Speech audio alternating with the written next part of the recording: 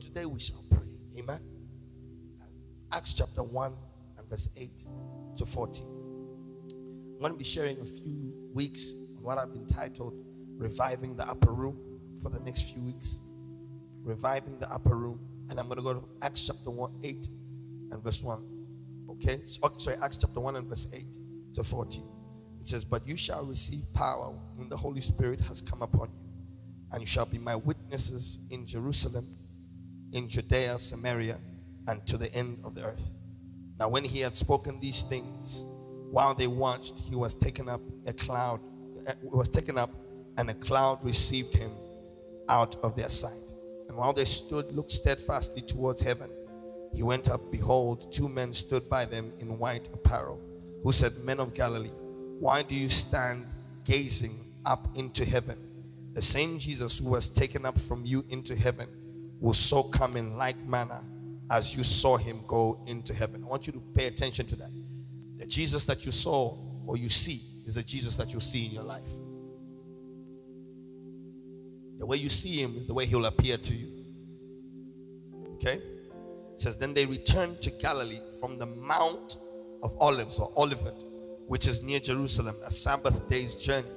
And when they entered, they went up into the upper room where they were staying. Peter, James, John, Andrew, Philip, Thomas, Bartholomew, and Matthew.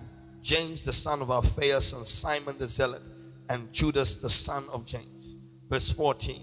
These all continued with one accord in what? In prayer and supplication with the women and Mary, the mother of Jesus, and with his brothers.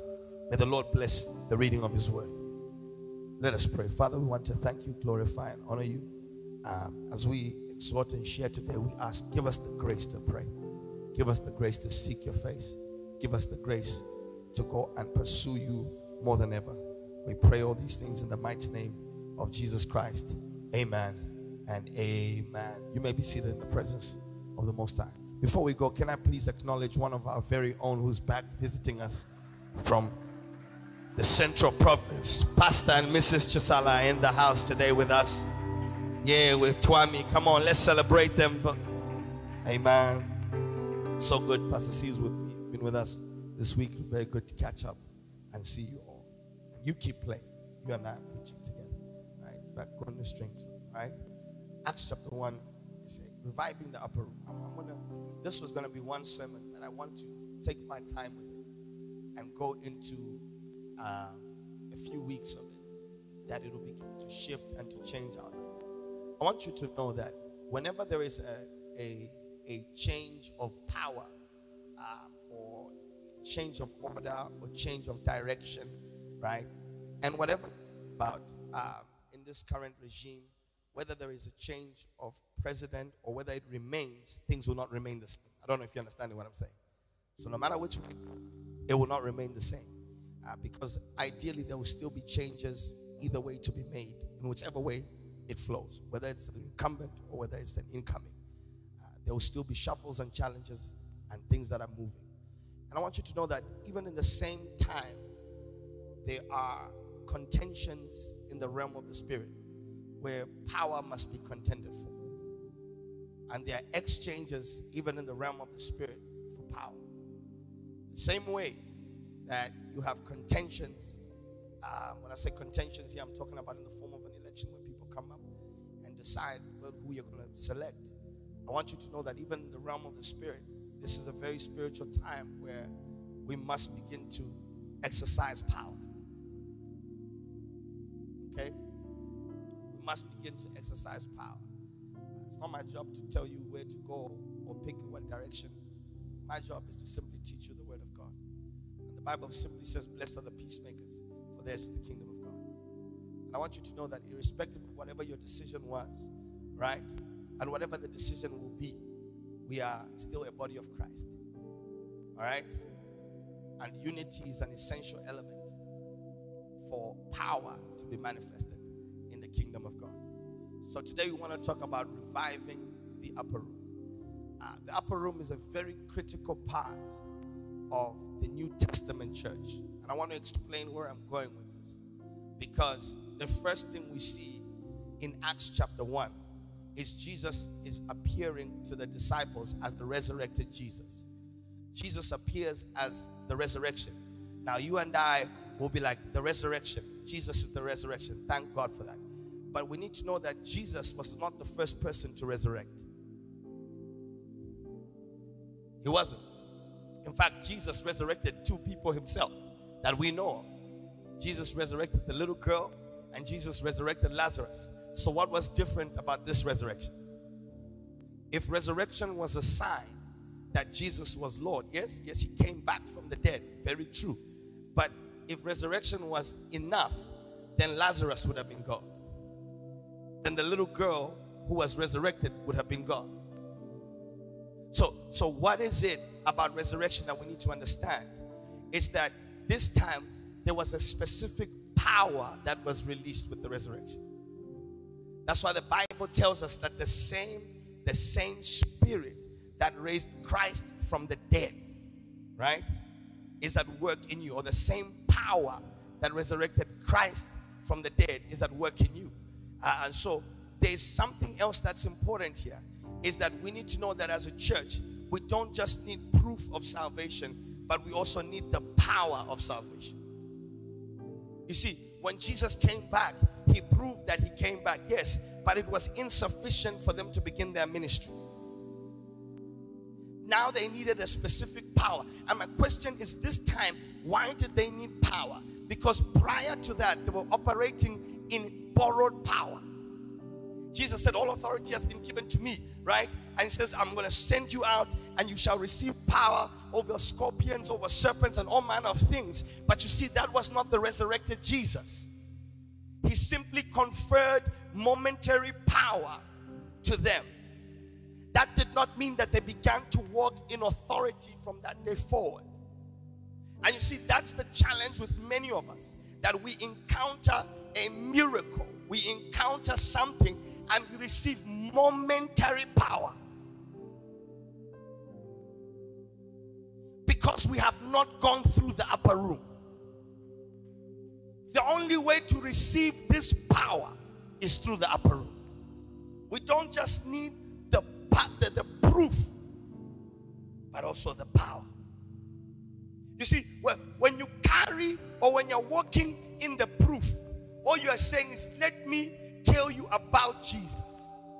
But when you're walking in the power, you say, Let me show you Jesus.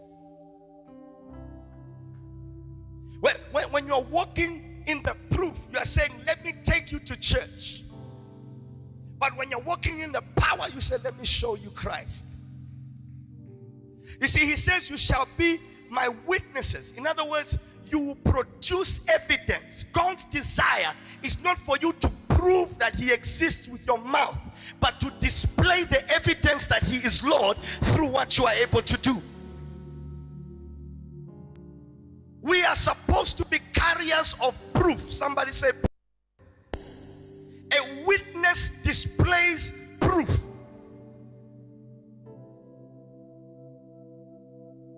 But ask anybody who's walked into the courts of law. Just because you are at the scene of the crime, it does not mean that you are a witness. Only one that is drawn into the courts of law and is given authority to testify is called a witness. Can I pray for you? In this season, you will receive authority to testify in Jesus' name. You're not sounding blessed. I said, in this season, you will receive authority to testify in Jesus' name. You will see the things you have read about. You will experience the God of this Bible. You will experience the power and the resurrection of His glory. If you believe it, say Amen. That's why Paul prayed in Philippians chapter 3 and verse 10. He says, That I may know Him and what? And the what? That I may know Him and the what? The power, not the, the witnessing or the sight of His resurrection, but there is a specific power has come with the resurrection. Beloved, if the resurrection was enough, Jesus would have said, There you go, go ahead. But he said, Wait here, tarry here in Jerusalem until you are endued with what? Can I dare say it? You will not be effective, an effective Christian until you receive power.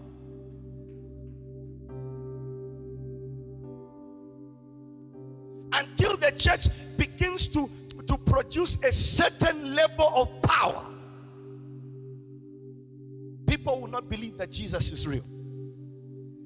You know, you know the Bible says that Jesus rose from the dead and appeared to over 500 people. But in the upper room, how many were there?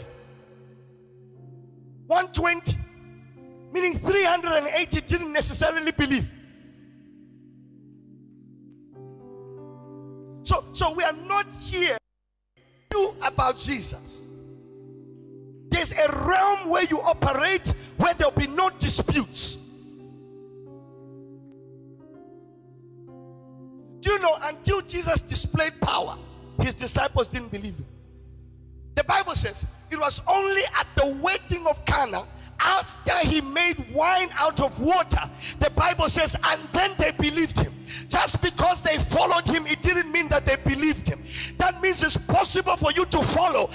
Not necessarily believe. But I pray for you that a certain level of power that will change your conviction. If you believe it, say amen. Where do you access this? The upper room. The upper room is the place where your faith stops being a dispute. Do I believe? Don't I believe? Do I believe? Don't I believe? Am I prayerful? I'm not prayerful. Am I prayerful? Am I prayerful? Many of us, that's where we are in our faith. Up and down. But it was never God's intention. He says, when you receive power, you shall. Now, how do we begin to walk and access? I'm going to take my time and break down what I believe is the upper room experience over the next few weeks. But today I want to focus on one element, and that is the necessary revelation for the upper room. You cannot enter the upper room without a revelation of who Jesus is. You see, he first had to reveal himself to them for them to decide go into the upper room. You will never pursue God until he presents himself to you.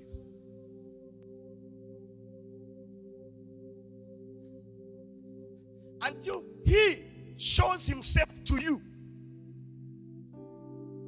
That will determine the level to which you pursue him. He appeared to them and told them to tarry. And the Bible then says that he was then taken up and ascended to the heavens. They saw Christ lifted, Christ being exalted, meaning he was being exalted above the realm in which they were in. Is somebody getting this today? It's only when you begin to see Christ above your sickness that you see healing. You're not hearing me. It's, it's only when you see Christ above your financial situation that you experience breakthrough. It's only when you see Christ above every imagination and limitation of this earth that you begin to walk in the miraculous. You cannot walk in the miraculous until you have the necessary revelation of who He is. That is what separates people in church. Us being together does not mean we've seen the same thing.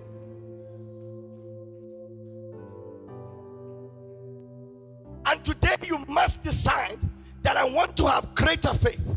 Write this down. Greater faith is built on greater revelation. Before God increases your faith, He reveals Himself in a new way to you. Greater faith is built on greater revelation. Revelation will lift you to another place. That is why, if you do not take time to read the Word of God, you will never grow. Not only will you never grow, you will never rise. Galatians 2 2, write this down. Galatians 2 2. I just want the very first section of Galatians 2 2. It says, And I went up by revelation. Somebody hearing me today? I went what? How? It means the lack of revelation will always keep you down. So, so this thing of reading the Bible, it, it's not an option. So the upper room is not a place that is just premised on saying, Lord, take me up. Lord, take me up. Lord, no, no, no, no, no, no. You see, the angel says, Men of Galilee, as you have seen him go, you will see him come.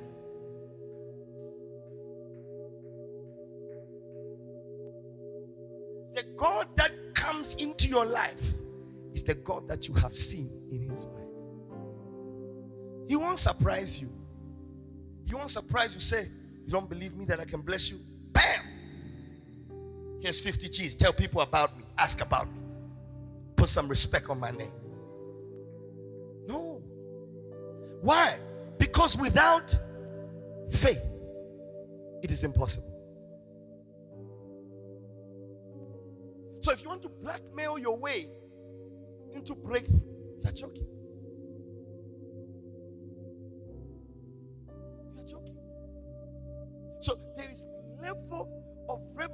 So God must first, before He takes you up physically, He must take your word content up. He must give you a greater desire and a greater insight onto who He is. He says, I went up by revelation. Uh, Matthew chapter 17 and verse 1, where Jesus goes on the Mount of Transfiguration. I want you to see this. It's called the Mount of Transfiguration. Is that he he is going to show a different side of him. And notice where he takes to reveal a different side of him. The Mount of Transfiguration. Whenever God wanted to reveal who he was, he took people higher. He took Abraham on a mountain to show that he's Jehovah Jireh. He took Moses up a mountain to show that he's the sovereign Lord. Jesus continues to copy the pattern. We're talking about this today. How back in the days, people, and not back in the day, people still do that. They go to a physical mountain.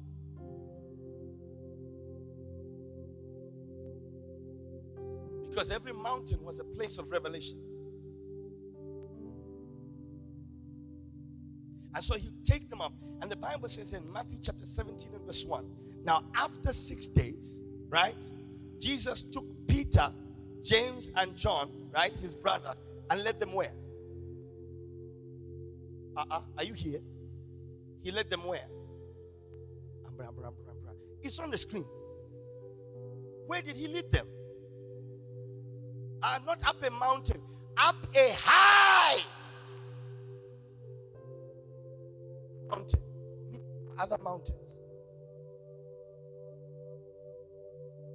See, the problem with many of you and where we are is on the same mountain for too long.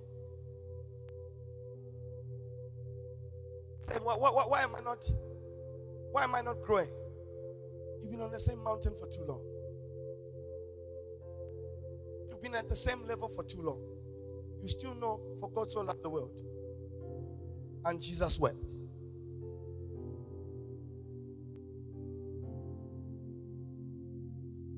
To reveal himself, the Bible says, Jesus led them up a high, not an ordinary mountain, a high mountain. So there is a requirement for you in the faith to scale mountains. Not just you move mountains. No, you will climb mountains.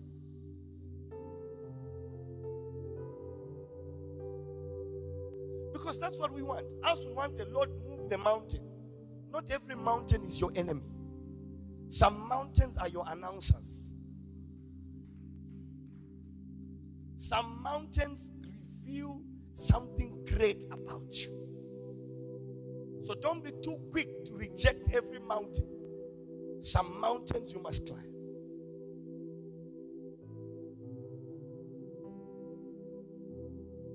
Bible says he took them up a high mountain. Do you know that there's some things God wants to tell you, but he cannot tell you down here? He needs you to climb up. He can't. He wants to always know this that the miracle on the ground is the mystery on the mountain. Every miracle on the ground is a mystery that is revealed on the mountain. And those who walk in the miracles are the ones who receive mysteries on the mountain. If your life is always at the base of the mountain, you'll be a victim.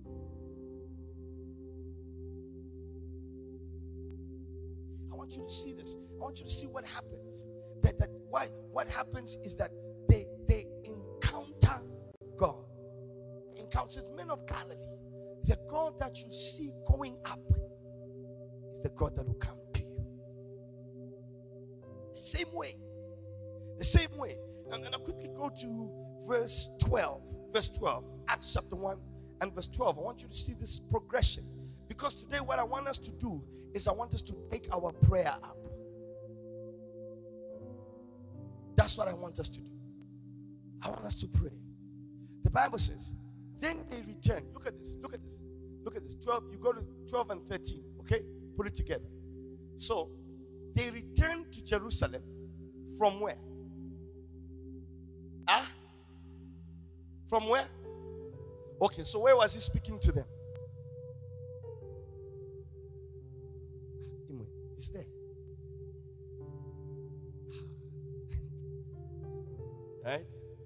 Was speaking to them? From the from the mountain. So where did Jesus show himself? On the mountain. The Bible says there is return from the mount of even when Jesus was going to die, where did he go and cry?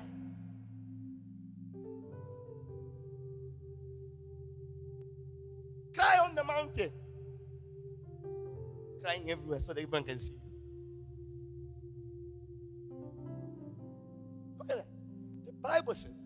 When they came back, they came and they went from the Mount of Olives, which is near Jerusalem, a Sabbath day's journey. Now, when they came back, where did they go? And when they had entered, they went up into the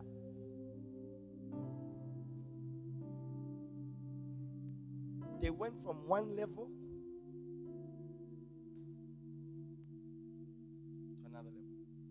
Now, biblically speaking, the upper room is like the third level. Houses which had upper rooms were like roofs. They were like attic, attics, like you know what I mean, right? So it had two two floors. Okay, it had two floors and a roof. And the reason to go into the upper room is when the season got hot. They went up where it's cooler. That's a principle right there life gets hot, go up. It's cooler.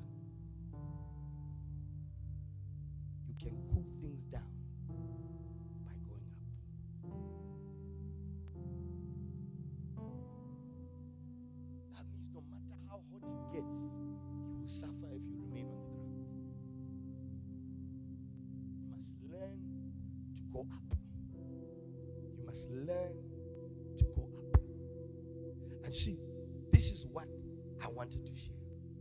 The Bible says that when they had received a revelation of what Jesus was doing, they didn't go down the ground and just continue about their lives. Just say, He's coming back. He's coming back. Isn't that what most of us do? You prosper. I receive.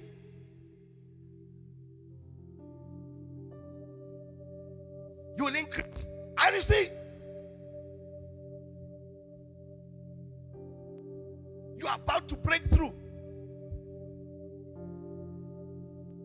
Breaking through? Do you know? And many of us receive a word without praying it into life. Whenever you receive a prophetic word, don't sit there.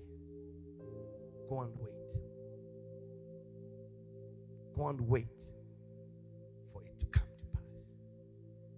Bible says in verse 14, it says they continued with one accord. Where? In now, now, now, now, prayer and supplication. Meaning there's prayer, then there's prayers on prayers. See, supplication is it's not just prayer, it's prayers on prayers. You understand? There's a level of prayer where you're like, oh God, oh. supplication is to add on top, to supplement to a point to say that whatever necessary prayer is required for my life to move forward, we shall do it. Is somebody getting something today?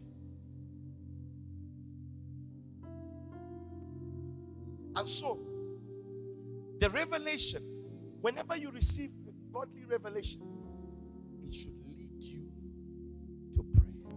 It should lead you where? So the impact that you have not prayed for, you will not see. The impact that you have not sought, you will not see. To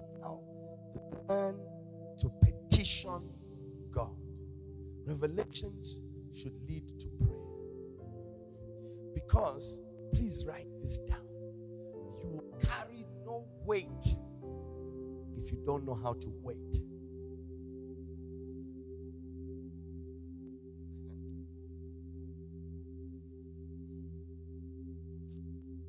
Every revelation comes with a weight that forces you to wait.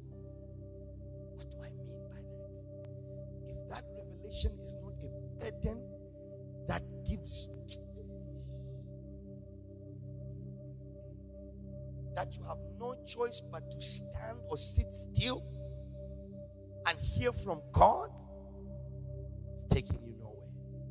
Revelation forces you to wait because that waiting. gives. Do you know the word for glory? The word for glory in the Bible is kabod, right? The, the, the, the Greek word is kabod, K A B O D. Do you know what kabod means? Wait. That if God literally comes into this place, you will feel a any God that does not place a weight on you. I know some of you, He takes away my burdens. No, no, no. Jesus said, Take my yoke. In other words, there is still a yoke.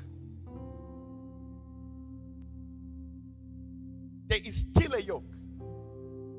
But this one I will give you grace to carry.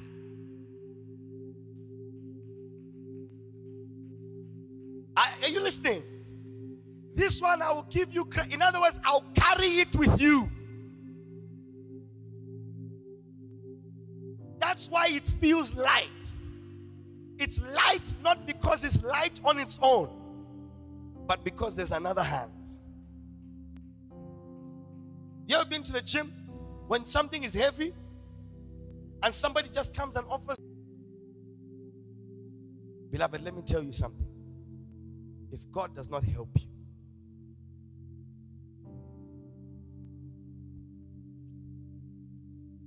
if God does not, the disciples knew to us.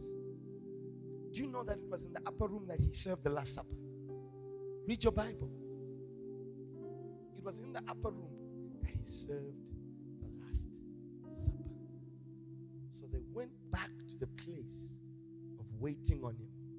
Because in the Last Supper, he waited, served